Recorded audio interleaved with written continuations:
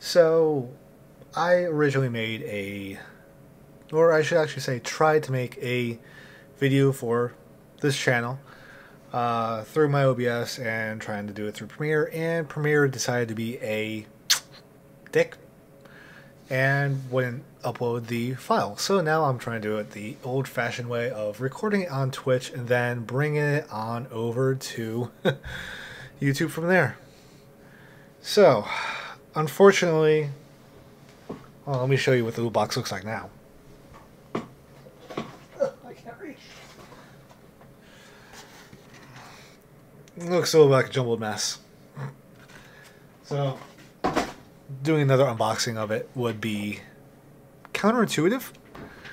But anyhow, what I can do is I have everything that was in the box right here next to me. So I could just do it that way. So I I remember what order I did, and so it's not that hard. Okay, I almost thought where'd the shirt go, but I found that. So anyway, the first thing that came out of the box was, of course, the little pamphlet saying, "Hey, this is what's going to be inside your loot box," and also has details on what the Mega Crate is for the month, which is a giant Groot statue, a Lego of who is it? The Moana, the sh- ship the Blu-ray correct. Co- no, I can't English today. and this is all staying in because I care less about the whatchamacallits. uh, Marvel Cinematic Universe Phase 2 Blu-ray collector set. And a telescope. That's the May uh, Mega Crate, a $2,000 value. So, that's that. And on the back it says, We heart you. Alright. One of the other things that was in there was this little pamphlet for their little treasure hunter thing, of which I don't know. I'm not one that really knows that stuff. But onto the other stuff. So the shirt that came out of the loot box is a Goonies shirt. Goonies never say die. Great shirt. Great movie. Uh, actually, I think it was a series of movies. If I remember, I think there was more than just one. I think there was probably like four in the Goonies franchise. But Goonies is great. Me and my friends loved it, especially. Well, I would say my friend's little brother hated it because he was a bit on the childhood obesity side, and we always made him do the uh, truffle shuffle. That's off the record, but oh well. So the other thing that was inside the box was colored pencils and a sharpener on top. And now you may ask yourself, why? Well, Star Wars coloring book, and this is way out of my league. This is not for, okay, this is for gifted five year olds, but this is not for regular five year olds. Like, if we flip through it, this is intricate stuff. Like this Yoda picture right here. That's intricate. you have to really know some good stuff to do it. Oh, Luke's even in it too. I didn't notice that. And then, of course, on the back, old Ben Kenobi. But I probably might give this to my sister in law because she loves coloring. She loves doing all things artistic. So that's that. And then we also have. Ah, the statue of the month.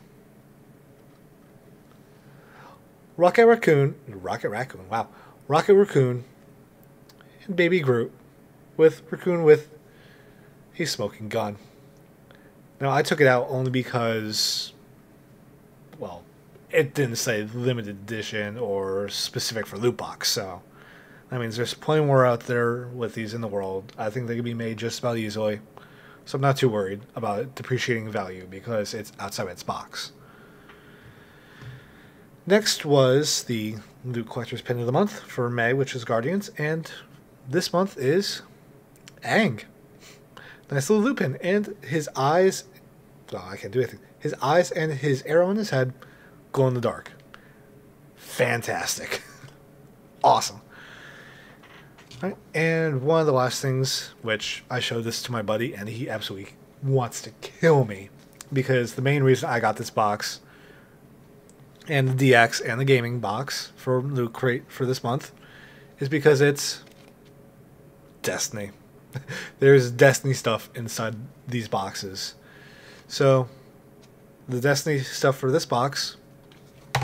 Oops.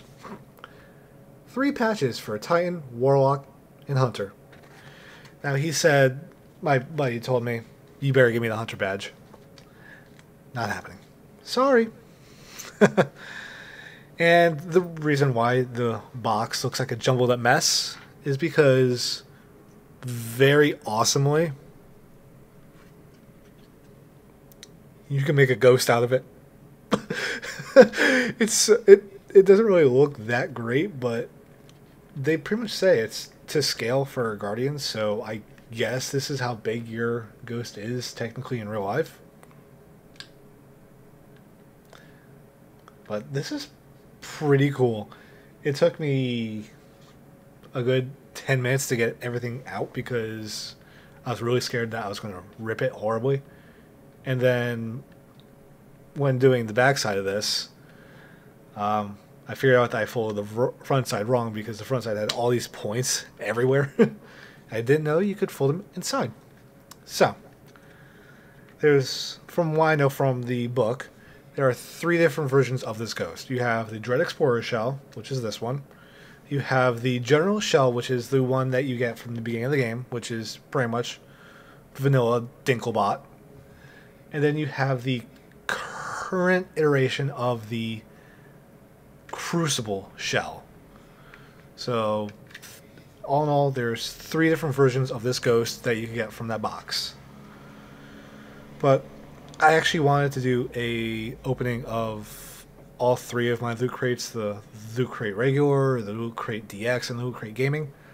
Um, if I pay attention to anything, I didn't know that the loot crate gaming doesn't get here until maybe sometime next week. But the one thing I was worried about for loot crate DX was, and I guess this is for everyone that got DX, is it's currently on hold per se. I'm not really sure. I have their email. I don't really feel like looking it up. so I'm lazy that way. But it's kind of on hold. It's going to be coming out the same time as the Loot Crate Gaming, so you're going to get it uh, sometime soon. But other than that, I think this is going to have to be to do my Loot Crate unboxings. Um, if anything. Um, well, yeah, well, the only reason why I got this Loot Crate was just because Destiny. That's the only reason. I'll get other Loot Crates if it's something that I like really like. Um, like if they do another Loot Crate that has Deadpool on it, I will go with that immensely. If it has uh, something like a Need for Speed box, I will definitely do that. At some point, I plan on getting the Firefly Mega Crate only because it's a cult classic show. It only got one season. It was so worth. And also Nathan Fillion is the voice of Cayde. but other than that, they did great. I actually like the stuff from Loot Crate. I might try another couple of uh, loot boxes. Like there's one I kind of want to try only because I'm a little bit of a gym rat.